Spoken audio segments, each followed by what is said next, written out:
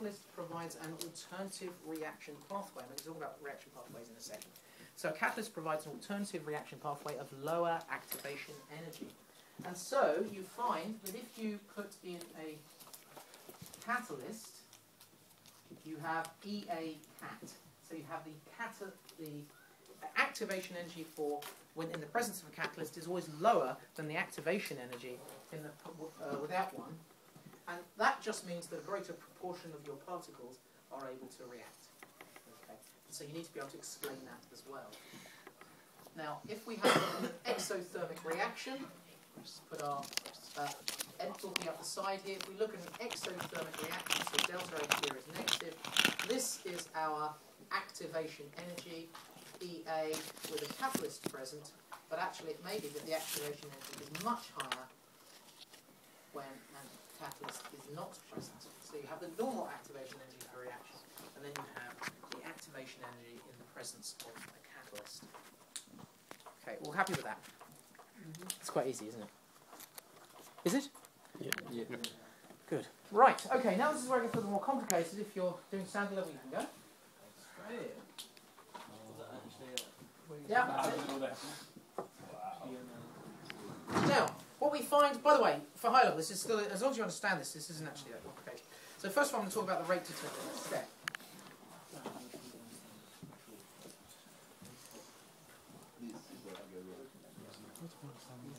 Okay, the most important thing to remember about kinetics is that um, not all substances in a chemical reaction necessarily affect the rate of reaction. So it may be that you may have a reaction like this. You may have a reaction in which you react uh, some A and 2 moles of B, and that produces 2 moles of C. Now that may be your chemical reaction. But you may find that when you vary the concentration of A, it has no effect on the rate of reaction. And this is something which at first actually can be rather startling when you're used to the fact that, hang on a minute, it's part of the chemical reaction. So here is my substance A, it's part of the chemical reaction, and yet when I change the concentration of A, nothing happens. How can that be?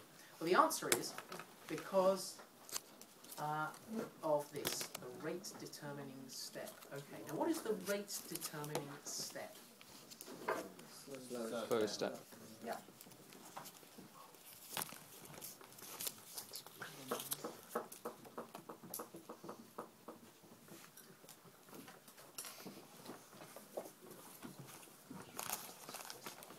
Now, it's the slowest step, or you can say it has the highest activation energy. Okay, so it's a step that has the slowest step or has the highest activation energy.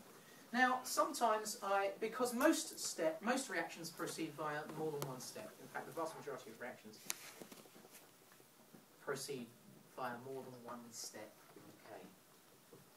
So you might have your uh, reaction going via uh, one step with, with a certain activation energy, and then going via another step with a certain activation energy, and then going right the way to products. Okay, so you might have something like that. So that's a three-step reaction. Which would be the rate determining step? Well, the rate determining the rate determining step would be the one with the highest activation energy. Now I can't tell from this. I'd have to get a ruler and measure which of these has got the highest activation. It's certainly not that one because that's got a tiny activation energy. But these two have comparable. I think it's probably that one, which will be the rate determining step. How can you understand that? Well, the way I always think of it is an hourglass. So what is it that determines how fast the sand passes through an hourglass? The Size of the gap. The size of this gap. Now, if I make a very strange hourglass, what is it that determines the speed at which this sand goes through the hourglass? Smallest, smallest gap. The third gap, yes, it's the third gap. It doesn't matter how quickly the sand goes through this one, it doesn't matter how quickly the sand goes through this one, but it does matter how quickly it goes through that one. That is the rate determining step. And that's the case for any, that's the same uh, principle as a, as a chemical reaction. Okay, it doesn't really matter how fast your fast steps are, it only matters how slow your slowest step is. And so only species which appear or which affect, I should say, the rate determining step, only species which affect the rate determining step will, will have any effect on the rate of reaction. And that's quite important, so you need to write that down. Only chemical species which affect the rate determining step can influence the overall rate of reaction.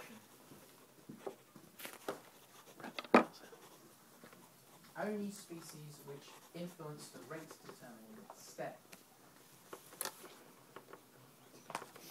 can affect the overall rate of reaction. So, if the um, very narrow um, gap being the first gap, Yeah. then the following ones would still affect how quickly it got to the bottom. Because No, it wouldn't. coming out in the first, it will always go through the. No, that- No, they won't. They wouldn't because if you think about it, if the very top one is a small one, it's the very narrow one. Let's suppose it's so narrow that two grains get through at a time. They're going to fall straight through the other two holes. There's going to be no effect. So, um, now let's supposing for a second that we find. Now, what we do, of course, in order to help uh, us to understand this, is we write uh, a rate equation for every reaction that we find. And the rate equation, we say that the rate is equal to the rate constant. And strictly, what we should do is we should put everything in the uh, equation here. All of the reactants should go into our rate equation. Don't write this down for a second because, or you can write this down actually if you want, because we may find that, because then we have to do an experiment. It's very warm in here. Can someone just open the windows?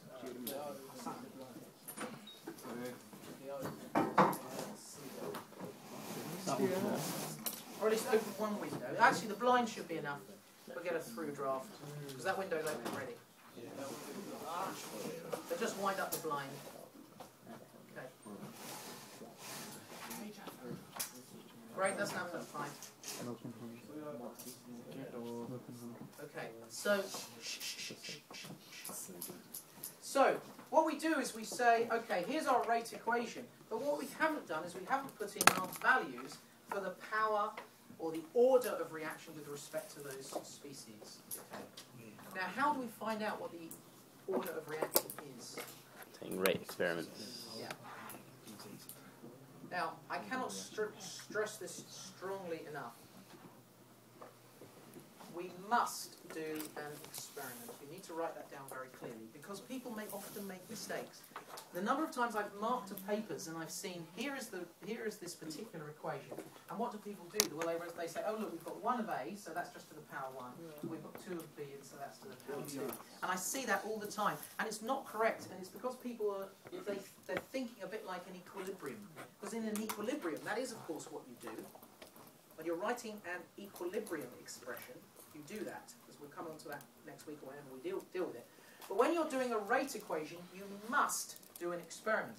And when you do an experiment, what you do is you keep the concentration of A the same, and you vary the concentration of B, and you see how B affects the uh, rate of reaction.